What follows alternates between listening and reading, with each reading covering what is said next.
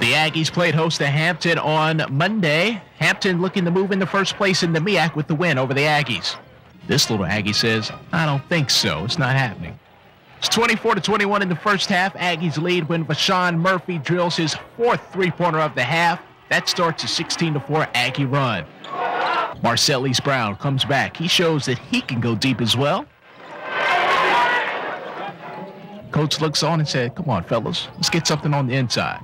Tarvis Williams bangs his way down low. Hampton trails 35 to 25. Aggie cheerleaders say, Come on, guys, let's get back in it. Well, something like that. And the Aggies do. Into the first half, J.J. Miller. He feeds Travis Totten. Duck you very much. Aggies lead 40 to 25 at the half.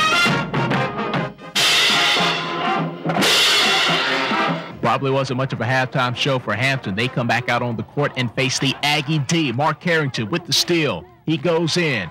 That's two of his nine points. Little Aggie pride from the cheerleaders. Hampton, they don't know what to do with the ball. Oops.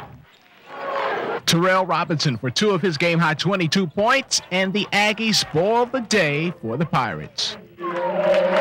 We felt like we needed to go out and make sure to stop them from getting to give us a chance to still stay at the top. So early on, we wanted to come out with intensity, and we did, and things just worked out for us. I, I think our best basketball is ahead of us.